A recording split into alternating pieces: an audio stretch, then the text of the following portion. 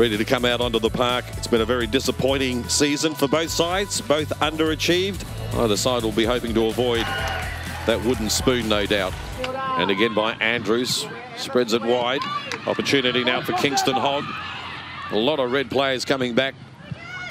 Another opportunity for the number nine. And Andrews ties a strike, and it might have just got a touch, I reckon, from the keeper. Did it? No, in fact, it's a goal kick, Sarah Willacy. Chance for uh, Dawber. In fact, it's a penalty kick. She's gone down and it's a PK. The referee pointed to the spot straight away to give Adelaide the lead. Thinking about it. And goes into the right corner. Yep, terrific strike. No chance for the keeper. Adelaide take the lead here at Marden Sporting Complex against the Jets by one goal to nil. All lined up on the edge of the uh, penalty area. And now here comes the cross. A bit too close maybe to the keeper. There's an opportunity for the Jets and there's the goal. Well, you're going to say it was a mistake by Willacy. She didn't get enough purchase on that. And it uh, found its way to the Jets player. Now it's Holmes for Adelaide. Gets the delivery into the cross, uh, looking for uh, Hodgson. Here's a chance here for Hodgson again. Oh, straight into the face of the keeper. Coelho, that would have hurt. And she goes down.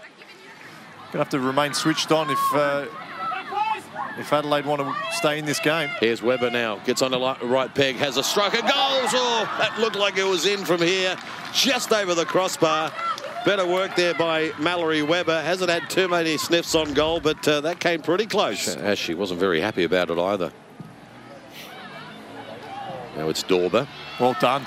Brilliantly done. Dawber now inside the box. What's she going to do? Is she going to strike herself? Is she going to pass it? No, she'll have a go. But good save. Got down very well, Claire Coelho.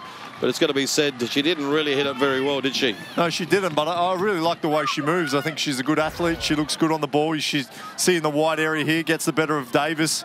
You know, had they had that little bit more quality, obviously losing Fowler halfway through the season has hurt them a little bit as well. She's still the equal top goal scorer. Here's a chance now for Weber, and it's a goal. Mallory Weber, well, did say it earlier that she was knocking and knocking on that door to score a goal, and she finally has a goal to put Adelaide United in front yet again. Adelaide 2, the Newcastle Jets 1. Yep, they got different numbers though. Well, there's a free kick. Davis, big yeah. strong tackle, and then words for, Bru uh, for Dawber after. Nothing wrong with the challenge. Not sure why she needs to get stuck in. Frustration maybe. Dawber looks in a world of pain. Yeah. Let's hope it's not serious. And there is the final whistle here at the Marden Sporting Complex the final game of the home and away season for both sides. And Adelaide United in the final game have won their second game of the season and have taken themselves off the bottom of the ladder with the Newcastle Jets going for the uh, getting the wooden spoon for the uh, season in this W League.